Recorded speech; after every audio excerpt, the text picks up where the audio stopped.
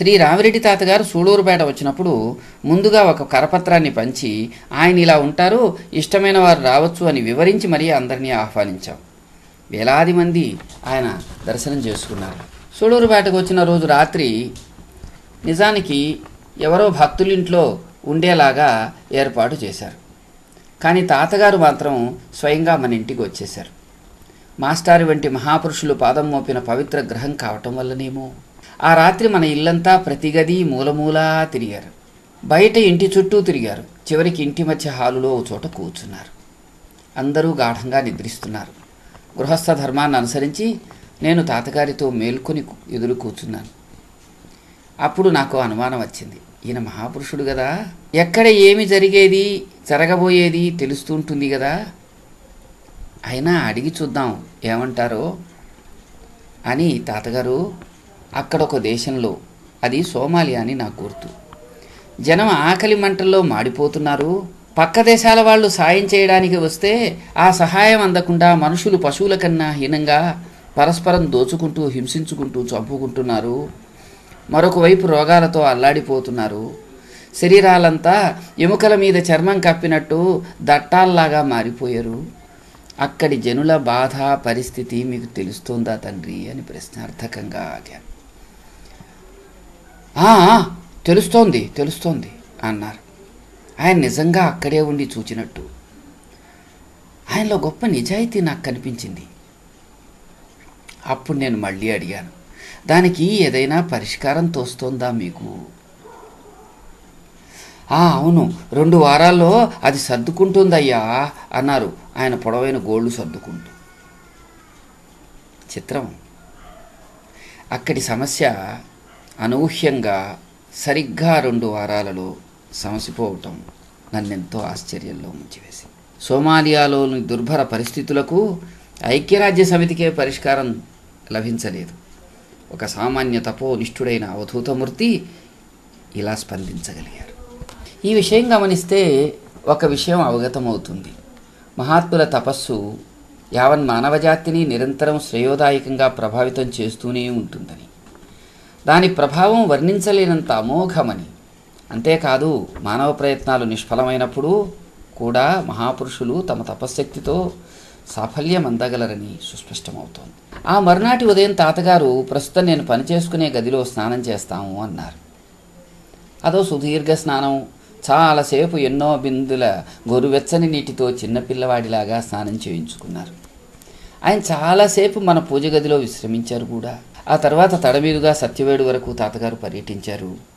ప్రతి చోట సత్సంగం చేసుకున్నాం. ఆ పర్యటనలో వేలాది మంది కర్నూలు వెళ్ళి ఆయన దర్శనం చేసుకోలేని నిరుపేదలు భక్తులు దర్శించుకున్నారు. అది నిజంగా శ్రీ సాయినాథుల వారి కృపావిశేషమే. రామిరెడ్డి తాతగారిని నేను చివరిలో చూసిన పద్ధతి చాలా చిత్రంగా జరిగింది. నేను ఒక బస్సులో వెళుతూ ఉన్నాను. ఆ బస్సు వాడు ఎందుకో మధ్యలో ఆపాడు. ఉదయం ఐదున్నర అవుతోంది. నేను దిగేశాను. చూస్తే ఎదురుగా గూడూరు షిరిడి సాయిబాబా మందిరం కోసం అప్పటికి ఒక చిన్న పాక వేసి ఒక గుండ్రటి పాక వేసి ఉండేది. అక్కడ ఎదురుగా ఆగిపోయి ఆగిపోయి దిగానమాట లోపలికి వెళ్ళా. చిత్రంగా రామిరెడ్డి తాతగారు అక్కడ పడుకొని ఉన్నారు. మిలమిల మెరిసే కళ్ళు ఆ ఉదయపు వేళ చాలా చిత్రంగా అనిపించాయి. అప్పుడు నా మనసు వెనక్కి చూసుకుంది.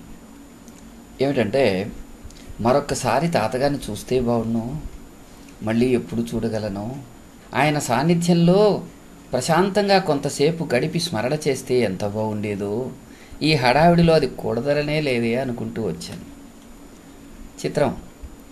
అక్కడికి ప్రయాణం చేయడం ఆ మధ్యలో బస్సు ఆగిపోవడం ఎప్పుడూ అప్రయత్నంగా దిగని నేను దిగడం దిగి ఎదురుగా అక్కడికి వెళ్ళడం. నిర్మానుష్యంగా ఎవ్వరూ లేరు. బహుశా కాలకృత్యాలు తీర్చుకోవడానికో దేనికో తోట ఉండుకో వెంట ఉండే వాళ్ళందరూ వెళ్ళి ఉన్నారు.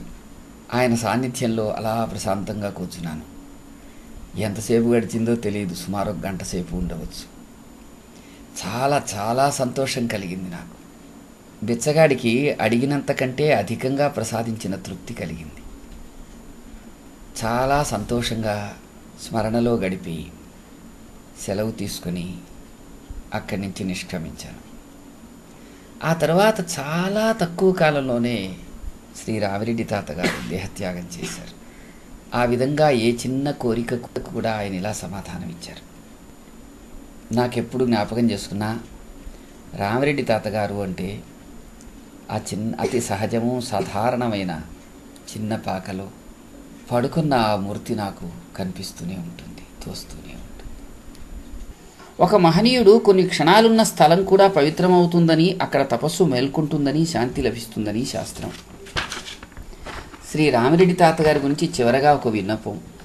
ఆయనంతటి మహాపురుషుడైన వివిధ ప్రాంతాలకు వెంటవచ్చిన వారిలో కొందరు గొప్ప భక్తిగల వారు ఉండేవారన్నది నిర్వివాదాంశం. అయితే కొందరు మాత్రము తామే ఆయన్ను వెంటకు తీసుకొచ్చినట్టు తమ అనుమతి లేనిదే వారు రానన్నట్టు ఆయన తమ సొంతమన్నట్టు చెప్పుకునేవారు ప్రవర్తించేవారు. వారు డబ్బు కోసమై చాలా కక్కుర్తి పడేవాళ్ళు. వ్యసనాలను కూడా ఏమాత్రం దాచుకునేవాళ్ళు కారు. అలాంటి ఒక పెద్ద ఆయనను చాలా కాలం భరించాక ఒకరోజు తాతగారు అన్నారట ఇక నీ లెక్క సరిపోయింది. అంతే అతడు త్వరలో మరణించాడు. రుణానుబంధాన్ని విశ్వసించే ఆ మహాపురుషుడు అలా అని ఉన్న ఉండవచ్చు అనుకుంటాను. అంతటి మహాపురుషు ఎదుట ఇది చూచినప్పుడు కొంత బాధగా ఉండేది కూడా. శ్రీ తాతగారు మాత్రం ఇదంతా ఆటగా చిన్న పిల్లాడిలాగా స్వచ్ఛంగా ఏది అంటనట్టు అమలినంగా వ్యవహరించేవారు.